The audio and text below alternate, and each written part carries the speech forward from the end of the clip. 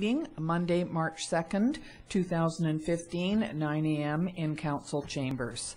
Um, First up to, uh, up uh, is uh, introduction of late items, and we don't have any of those. And so uh, next on our agenda is uh, a delegation, and it's from the Osoyoos Desert Society. And Denise Eastlick, who is the executive director, is here, and she's going to give us some information, more information than she did the last time when she came on January the 12th. So thank you, Denise.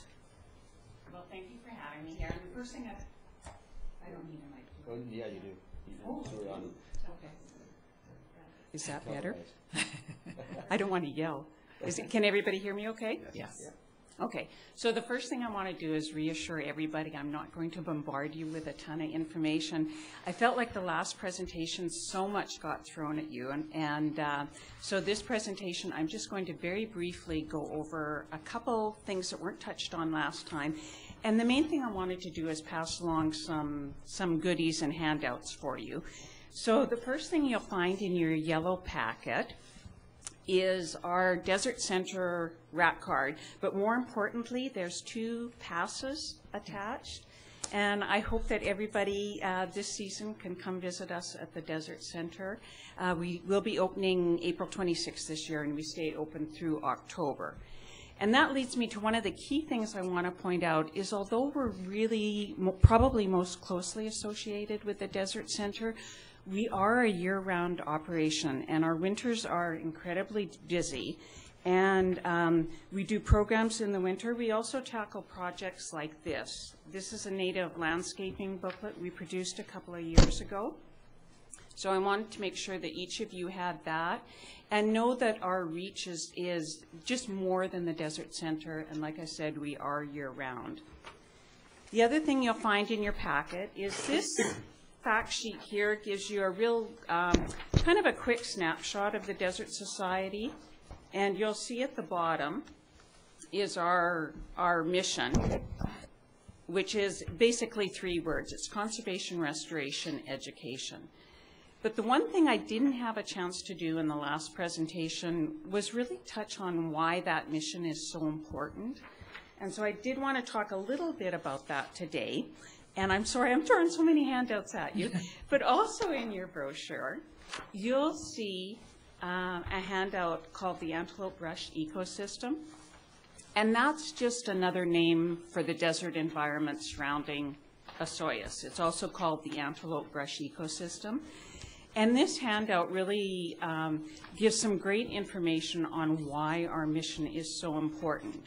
But if you don't want to wade through the entire handout, I can actually sum it up in three words for you. And I won't take credit for this. This was something that someone from the Ministry of Environment came up with. There's, uh, the three words all start with R, and the first one is risk. This ecosystem surrounding us is one of the foremost endangered in Canada. Second thing is richness. It, it is considered a biodiversity hotspot just because of the variety of species we have here. Um, BC itself is the most biologically rich province or territory and or territory in the entire country. And this area is also incredibly rich in terms of diversity of, of species. And then the last thing is a lot of the species here are rare. And that's different than endangered. Rare means that the, the species either occur, their populations are naturally small, or they're in a very limited range. And that's true of a, of a number of the species here. We have a bat, the pallid bat, found nowhere else in Canada. We have an endangered butterfly, Behr's hairstreak, found nowhere else in Canada. We have the desert night snake that scientists didn't even know it existed until the 1980s. And I just found out the other day we have an insect here called the ground mantid that has only been observed between Oliver and Osoyoos. So, you know, and that's just a few examples of the rare species we have here. So that that puts us not only that cons- conserving this area is important to the community, but it's also really, really important on a national scale. And even an international scale, a lot of the species here um, move and migrate up up, back and forth through the Okanagan Valley. So what happens here is important to those species coming from, from the south, and particularly with things like climate change. Uh, the prediction is what they think a species will migrate north, or they'll migrate up, up in elevation to deal with climate change.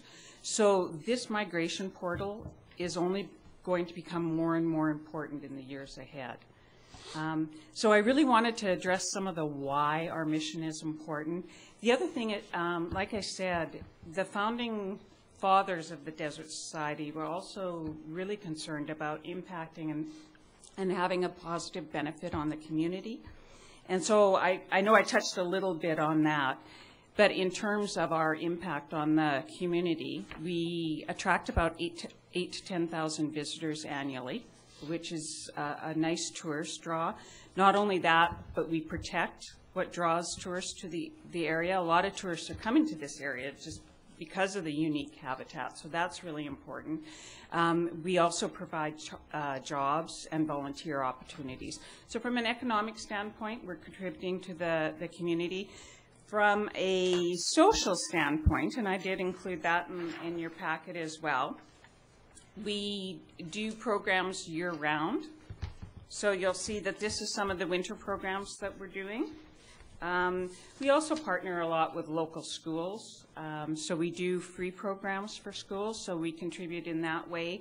We empower local citizens, give them the tools they need to actually make a difference and help the, the environment. So those are just some of the ways we, we try and enhance community life. Um, so again, why our mission is important. And then who we partner with um, also didn't necessarily stress that that much. There is some information on this fact sheet about some of our partners. And our partners aren't just conservation organizations, although that's certainly a, a key, key element we try and cultivate. But we also partner a lot with local businesses, and we help promote them through activities like Romancing the Desert, uh, Romancing the Desert is our annual fundraiser. It's designed not only to showcase the habitat here, but also to showcase the community and the wonderful businesses, the wineries, the restaurants. Um, we have 100 silent auction donors that we try very hard to promote in our program. So uh, we're very much into promoting the community, and we also do that through our marketing for the Desert Center. We help promote Osoyoos. Um, we also have um, partners with post-secondary um, schools, not only um, who come to the Desert Center for tours, but also who use us as a research site. We, we have had UBC, um, Simon Fraser, um, Selkirk College all use us as research sites. So that's an, uh, a really important contribution we make as well. And then very quickly, I'll get back to the funding thing, which is part of why I'm here too. Uh, just a review, the two key things I wanted to mention from my former presentation is the town's funding. Um, we do aggressively pursue grants throughout the year, and that's a, that's a huge commitment for us. You can see on the back of this newsletter is some of our funding partners. Uh, and every year, like I said, we aggressively pursue that.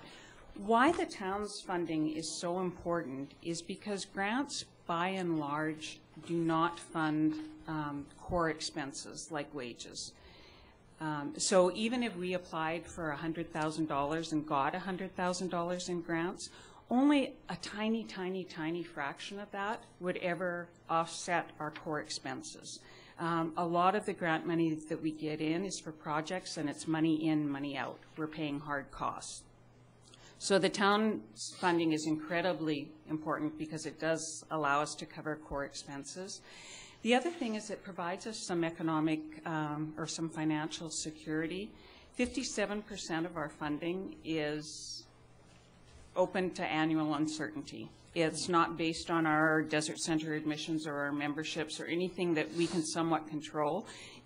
Um, so having us as a, or having the town include us as a line item gives us some financial stability and security that can carry us through year to year.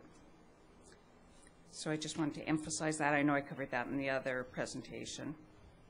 And then in terms of what's next, um, just wanted to let you know that we, we obviously are very committed to being a partner with the town, and we, uh, we really value that partnership. Um, Are going to continue to provide the services to the community that we have been providing. What we've got coming up is we've, we've done two winter programs. Sue, thank you for being at this last one. Uh, We've got two more coming up, and um, one of those is, uh, is partnering with the Osoyoos Lake Water Quality Society. That one's on March 28th. Um, We also partnered with uh, the South Okanagan Rehab Center this year. We like to showcase other organizations whenever we can. Um, We're also partnering with the Meadowlark um, Festival and doing a Meadowlark program. We're partnering with um, the Phot- Photography Club um, and doing a photo walk for opening day. Um, What other partnerships? We'll be doing free school tours again this year. And then again, we have um, a phenomenal number of partners when we do Romancing the Desert. And this year's Romancing the Desert is on August 8th. So those are some upcoming things. Um, We're also working on some improvements to the Desert Center this year that I didn't get a chance to mention. We'll be doing, uh, building a new deck and some upgrades to the plaza area. And then for those of you who maybe want a closer look, I know the Osoyoos Times was kind enough to include this in one of their newspaper articles last spring. But we will continue to do some work uh, planning for a new building. This is just a kickoff point. We realize that, that building plans go through umpteen renditions over the years. Um, But we did just want to get the vision started, and we will continue to, to move forward on that and plan on that, but I did want to bring this and pass it around. Um, Ultimately, we do need to replace the buildings, the Desert Center, um, so that's also on the agenda. So those are some of the things coming up for this year. So hopefully that wasn't quite as long-winded as the last one. And again, I threw, I know I threw a lot of information at you last time. Um, So if there's any questions this time, and I'd love to pass this around so everybody could take a look. Please do. Thank you, Denise. Um, Your presentations are always most interesting, and, uh, and, and don't worry, the more information that we can get, the better decisions that we can make. And because this is televised, um, it, it's going to be available for anybody who wants to, to click on and have a look at this. So we do appreciate it. I just had one question, then I'll open it up to council. If you, if, if there are people in town who um, have moved here, and I, I met one lady the other day who's looking to get involved in, in things, and, and I steered her to a couple of things. And um, I'm just wondering if, um, do you use volunteers all year long? Are they just in the summertime? And how would somebody who wanted to become a volunteer or find out more about it? Um, Volunteers, we do have, thank you for asking that, we have about 50 or 60. Uh, Some are year-round. They help us um, either in the office or with maintenance projects that can carry on year-round. Uh, The majority of the work does take place when the Desert Center is open. And people on the back of that fact sheet, they can get a hold of me, but also it even includes some of the ways people can get involved here. And absolutely, we are always looking for volunteers. Um, They're kind of the heart and soul of what we do. So, Absolutely, I agree. and we have incredible, we're we're incredibly appreciative because we have wonderful volunteer support in the community. Like I said, 50 to 60 volunteers. So they would get hold of you? Yeah. um, Down here, if, if they were interested in becoming a Absolutely, they can just Good. call the office number. Thank you. Um, Counselor Rhodes, did you have a question? Thank you, uh, Mayor McKortoff. Uh, uh, Good job, Denise, uh, not just today, but in general. Uh, I know the hard work you put into it, not only yourself, but the volunteers. And, you know, uh, so much of the profile of what people see of your facility there, you know, so, so much of the stuff that goes on is behind the scenes and that kind of thing. And I know you're very involved in that kind of thing. And so you don't often see those kind of things. So my compliments for looking after, you know, keeping that generator going and that solar power stuff. and you know, um, I wanted to ask about, um, and I just briefly went through this, and there's a page in there about our invasive uh, species that we're really, really struggling with in our community, and uh, um, we're having to put some budget money towards it. And I think one of the things a lot of people don't realize is that the town, you know, as a as a administrator of so many things, that's one of the things that we have to clean up in this town. We, we have to identify, we have to find where they are, and then we have to figure out some way of, of getting rid of these things, or at least controlling them anyway. Have you ever thought of maybe having an education course? I know education is so important and, and it sometimes really contributes to solving the problem. And I'm just wondering if you'd ever thought about, you know, maybe bringing that out and, and, you know, having people, getting them together and helping them identify what it is. Because with the invasive species, so much of it is nobody knows what the heck they are. They look at them and they don't know what they are. They don't know how to control them. And these things are just suckering all over our community and, uh, and, you know, we need to do as much as we can, and education is always a good way to deal with it, so somewhere in all those words, there was a question, I think, so, sorry. No, I, a- a really good point. Um, a few things on that is a few years ago we did do an invasive pro, uh, plant program, and, and you're right, CJ. It's probably time to do another one. Um, last fall, one of our staff actually began work on a kind of a how-to manual on how to deal with in, invasive plants because some, you know, there's a very short window of when you can address them. And so what I'd like to do is take the manual she started and for education purposes, keep working on it and then get it on our website so that people do have a tool on how to deal with invasive plants. And exactly right, it is probably time we did another program. And maybe that's something that we can look at adding into our spring or summer schedule is another invasive plant program. Um, I think the other thing that question opened up is we, we really seriously, I can't say the word enough, consider ourselves a partner uh, with the town. We don't look at this as just um, kind of a one-way relationship where you give us money and, and it's a handout we we want to be your partner. So anytime there is something like that, uh, an educational need that you see in the community that's within within our realm to contribute to, please bring it up. Um, that's what we're here for, and and you know we can we can create programs or, or address those needs. And in invasive plants, if that's a need right now, we can definitely take a look at adding a program. And if you think of any others, please let us know.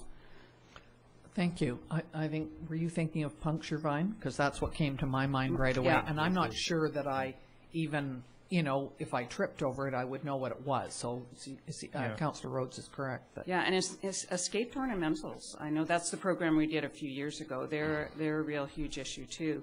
Uh, people put, plant them in their gardens and they, they spread out from there, so. Yeah. Yes, Councillor King? Yeah, Denise, if uh, people wanted to volunteer, maybe you could give us your phone number or your website. I mean, we have it in our packets, but maybe the public that's watching. Oh, sure. Uh, phone number is area code 250-495-2470. And then our website, our email address is mail at desert.org, and our website is www.desert.org. You can't get a much better website than that, so it's really easy to remember, desert.org. Thank you. Good, thank you. Anybody else? Any, No? any questions? Yes, uh, Mr. Romanko. Denise, I just, uh, if I recall, uh, one of the projects that you're working on is reconstructing your boardwalk. Is, it- where's that project at? uh, Um, that's ongoing maintenance. I mean, we, we put, um, probably, I think last year it came close to hundred hours of volunteer labor, so that's, that's ongoing. Okay. Um, And yes, at one of these years, that entire boardwalk will probably need to be replaced. Interestingly enough, that'll be about a million dollar project. We had a quote done on about a quarter of the boardwalk, and it was two hundred and fifty thousand. Wow. Um, So, you know, we, we know these things are on the horizon. Um, I think buildings right now, uh, getting the buildings replaced is, is probably a a higher priority um, than replacing the entire boardwalk. We can continue to maintain it, make improvements, and keep up with that. Perhaps the um, golf carts that go on that for romancing should be taken off. I, I'm, I'm wondering if they contribute to the destruction of the boardwalk more than just people walking. They might, hey? Yeah, we, we always do, yeah, yeah, there's always, uh, they do lift the boards, and we always do repairs afterwards, and yeah. Well, thank you very much. It was most interesting. Um, uh, we we think you guys do a terrific job out there. Um, we note the new little garden area right outside uh, by our fountain at Town Hall. It looks very nice. It fits in beautifully, and um, and I know that there's going to be a little bit of signage put there Correct. this year. Yeah. So thank you very much for your presentation, and anybody who's listening that would like to get some more information, um, if you can't remember, phone the town, we'd be happy to give it to you, or, um, or go on the website. Thank you very much Thank for you doing very that. much for having me again. Thank you. Okay, um, the next thing that we have on our agenda is the Osoyoos Art Gallery.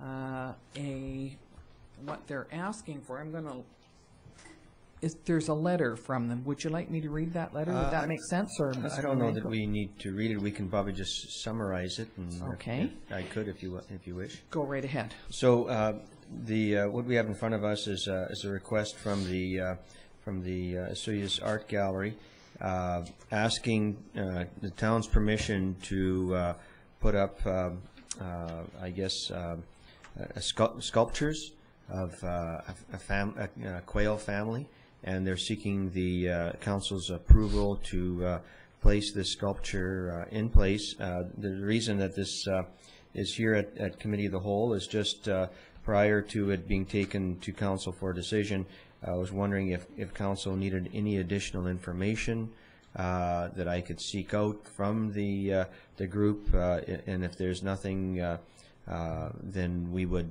we would put this to the, the regular agenda for, for decision. Um, I believe that the, that there is no, uh, they're not asking for any money on our behalf. They're going to do it themselves. My only question was, um, if the art gallery, and I don't know whether this is even in the, in the works at some time, but if they moved to another location at some point, would this be easy enough to move as well? And does the town, um, uh, Public Works have any concern about the location of this? It's kind of on the corner. I think they did take into consideration the mowing machines and then going around it, uh, and a little fence. Um, it is, is that an acceptable location and could it be moved if it had to be? Yes, Counselor Campol, did you? My understanding was that uh, the sculptures, nothing would be fixed. Obviously, there- there's weight when you're talking about a concrete, a concrete structure, but um, that nothing is fixed in any way, shape, or form. So I don't see how it would be an issue having it moved.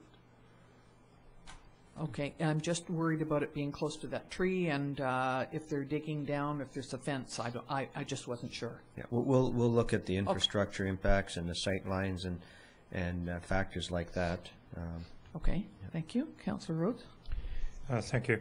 Um, Some things just fit squarely in that no-brainer category for me, and I'm just wondering if there is, and it makes me suspicious immediately.